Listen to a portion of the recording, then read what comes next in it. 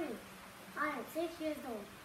Today I'm gonna to tell you a story.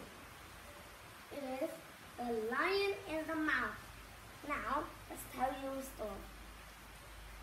Once upon a time there was a mouse and a lion. One day the mouse was bored. He wanted to play a slide. Then he saw a lion tail and he began to slide down and slide again and again.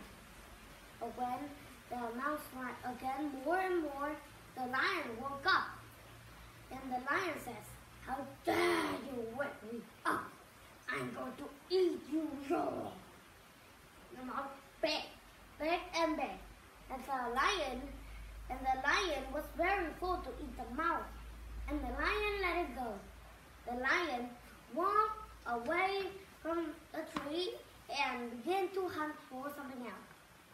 But one day, the hunter sees a lion and they take a trap and chop it down the lion.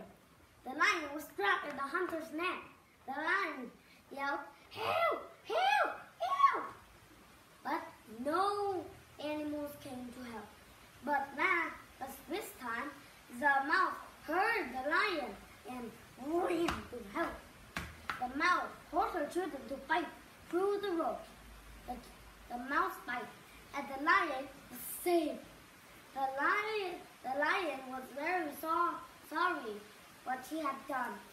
And the lion and the mouse were best friends forever and they lived happily ever after. The end. Goodbye everyone. Thank you for listening.